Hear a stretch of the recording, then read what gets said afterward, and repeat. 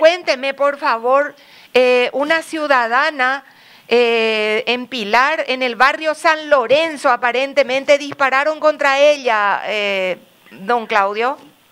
Sí, así mismo, es, esa es la eh, noticia que podemos dar a esta hora, ¿verdad? Esto ocurrió hace aproximadamente 10, 15 minutos, donde una ciudadana fue herida por disparo de arma de fuego, ella está siendo atendida en el Hospital Regional de Pilar con un pronóstico reservado, eh, tenemos entendido también que la, la pareja, el marido de esta señora estaría herida también, pero eh, se le está buscando en este momento para ser asistido.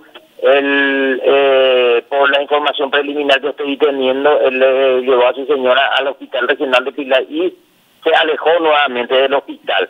Eh, estamos eh, viendo la posibilidad ahora de eh, llevarlo también al hospital si es que está herido, lo estamos buscando en este momento el hecho ocurrió sobre la avenida Irala, casi Capitán de la ciudad de Pilar, donde se quedaron algunas eh, evidencias como casquillo de eh, armas, ya cartuchos, eh, vainilla servida, perdón, eh, en la cantidad de 13, 12, 13 aproximadamente. Se está buscando testigos en el lugar también, eh, tratando de ver si algún negocio cercano tiene algún tipo de sistema de cámara de seguridad para ver un poco lo que pasó y es la información que ahora mismo me está llegando a través de del personal policial es también que en la zona un poquito ya alejada de Pilar, a unos kilómetros de Pilar, camino a Verónica Bus estaría eh, quemando un vehículo presumiblemente de la marca eh, Volkswagen. Esto es de ahora. Mayores detalles no estamos teniendo porque esto está ocurriendo en este mismo momento, señora. Qué barbaridad. Eh, doña, eh, doña Celcita Chávez, creo que es la víctima, estaba en compañía de su marido otra vez entonces, don Claudio.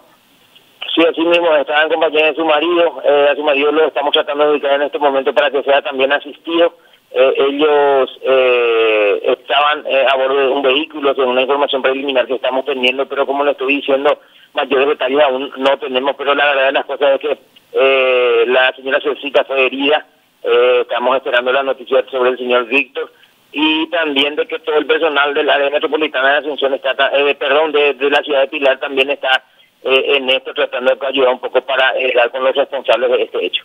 Ya, don Claudio, le, para recordarle a la gente, en marzo del año pasado, la pareja ya había sufrido un atentado en el barrio General Díaz de la ciudad de Pilar, en el departamento de Ñembucú también, y salieron con vida milagrosamente. Aquella vez fueron interceptados por dos personas encapuchadas que estaban a bordo de una moto con escopetas calibre 12, dispararon a quemarropa contra ellos, lograron salvarse y lo que en aquel momento se hablaba es de un tema de ordeño de combustible, supuestamente.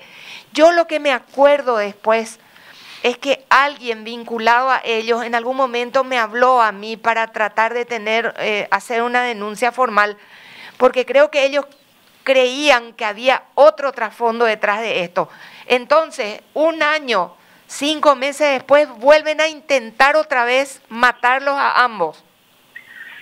Sí, eh, por los momentos podemos hablar de que trataron, o sea, intentaron, ¿verdad? No sabemos si, si concretaron su objetivo o no, pero eh, como le estoy diciendo, la señora Cecita está en un estado muy delicado, muy grave. Eh, asimismo, en, en aquella oportunidad, el, el, herido fue el señor Víctor, eh, ¿verdad? La señora Cecita en, ese, en aquel entonces salió ilesa en ese, en ese percance. Y eh, estamos en este momento viendo eh, cómo estaría el señor Víctor ahora, ¿verdad? Pues él se quedó con algunas secuelas también eh, de, de, de aquellos disparos que recibió en, en aquella oportunidad.